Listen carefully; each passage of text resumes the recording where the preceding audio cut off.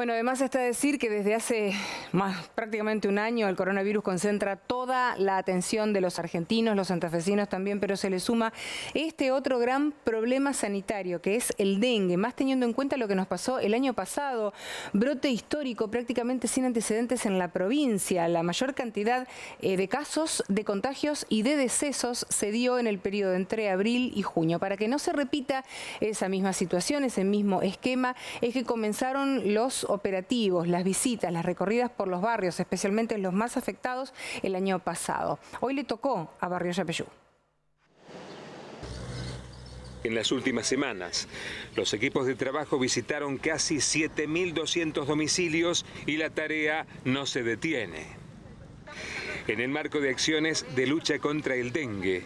Llevan adelante actividades de descacharrado asistido y sistemático, focalizados en los barrios más afectados en brotes anteriores. Ahora ya esta es una etapa más profunda de trabajo directamente en los patios de las casas, eh, ingresando y ayudándole al vecino a dar vuelta, tarritos, tachitos, cosas que nos sirvan, dejarlos dados vueltas mirando para abajo para que no, se, no sean criaderos, no se llenen de agua y no sean criaderos de mosquitos para poder retirar aquello que nos sirva y para poder dejar herméticamente tapado lo que por alguna razón tiene que contener agua. ¿sí? ¿Cuántos domicilios visitaron ya bajo esta consigna, Mariana? Bien, es muchísimo. Tenemos más de 7.100 a la semana pasada, pero esta semana seguimos trabajando.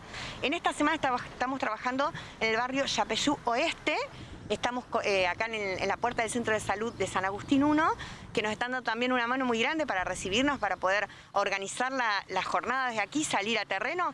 Así que calculamos que con esta semana ya estamos arriba de 7.600 viviendas que hemos podido llegar para poder darle las recomendaciones, dejar volante, a los comercios entregar afiches para que también nos ayuden a difundir a otros vecinos. Así que el impacto en los 14 barrios que llegamos trabajado es, muy grande, es favorable obviamente. Contra los mosquitos todos tenemos y podemos hacer algo. El transmisor de Zika, dengue y chikungunya pone huevos en recipientes o lugares con agua estancada. Por eso es muy importante eliminar los criaderos de mosquitos. Esto es importante porque nosotros lo que tenemos que lograr es que el mosquito Aedes aegypti no se reproduzca, no haya una densidad muy grande y se cría en agua relativamente limpia donde tenga superficie donde pegar los huevos. Entonces no se cría ni en zanja, ni en charca, ni en cuneta, ni en cavas. Se cría en tarrito, botella, cubierta, em, macetas vacías que no tienen agujero. Y en esta época eh, del año. Y en esta época del año porque arrancó ya finales de octubre, para noviembre están dadas las condiciones climáticas, calor, lluvia intermitente, para que esos huevitos que fueron colocados tal vez en abril, mayo en su momento de, 2020, puedan abrirse y empezar a dar las primeras eh, generaciones de mosquitos. ¿Qué tiene que saber el vecino que va a ser visitado por estos chicos que trabajan en esta campaña?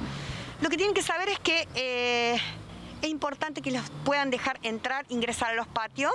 Ellos van a llevar su credencial que está identificado. Totalmente.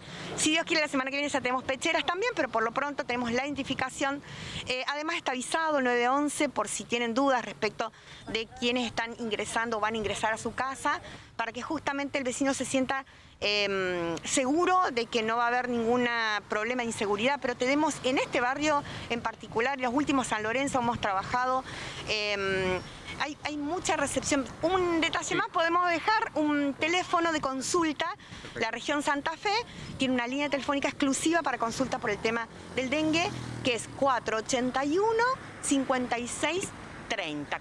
el vecino que necesite sacarse dudas respecto de los síntomas, sobre alguna situación particular, acumulación de residuos, lo que sea, nos consulta y nosotros vamos a ayudarlo siempre.